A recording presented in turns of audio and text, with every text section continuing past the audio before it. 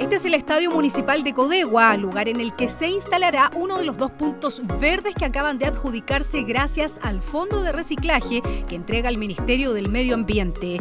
Esta es la única comuna que logró el millonario monto para este 2024. Estamos sumamente contentos de dar el inicio del Fondo de Reciclaje acá en la comuna de Codegua, que es la única comuna de la región de O'Higgins que fue beneficiada con este fondo son 13.750.000 pesos que va a permitir financiar puntos limpios y educación ambiental. Nosotros felices, felices y orgullosos nuevamente ser la única comuna en la región que nos ganamos este proyecto, este programa, estos puntos limpios que van a estar en el estadio municipal y también en la municipalidad de Codegua.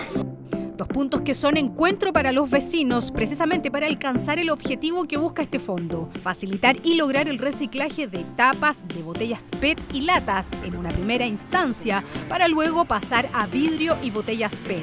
Si bien este es el foco del proyecto denominado Promoviendo la gestión de residuos inorgánicos en Codegua, tiene una segunda etapa que busca educar y concientizar a la comunidad de esta materia, pero también sobre la economía circular.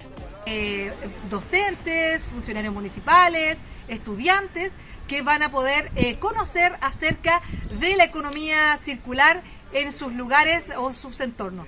Sumamente contentos de estar acá y que hoy día Codegua está avanzando en economía circular para poder beneficiar a su población.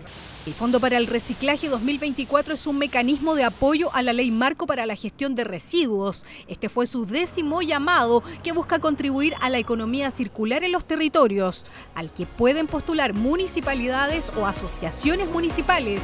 Ahora la tarea está en manos de Codegua con un plazo de ejecución hasta agosto del 2025.